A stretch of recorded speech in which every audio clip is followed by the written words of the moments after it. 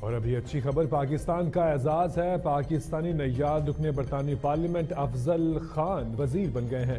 انہیں شیڈو وزیر برائے foreign office and commonwealth مقرر کیا گیا تھا۔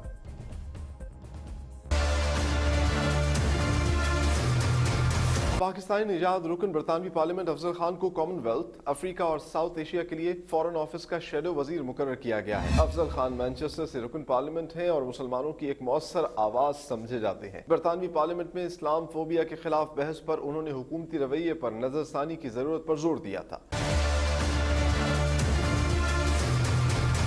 افضل خان کا کہنا تھا کہ حکومت اسلام فوبیا سے متعلق پالیسی واضح کرنے میں ناکام رہی ہے۔ اسلام فوبیا کے خلاف حکومت کو رویے میں نظر ثانی کی ضرورت ہے۔ ان کا مزید کہنا تھا کہ مسلم تنظیمیں اسلام فوبیا کے حوالے سے خدشات کا اظہار کر چکی ہیں۔ رکن پارلیمنٹ کی اسلام فوبیا کے خلاف تجویز مسترد کرنا باعث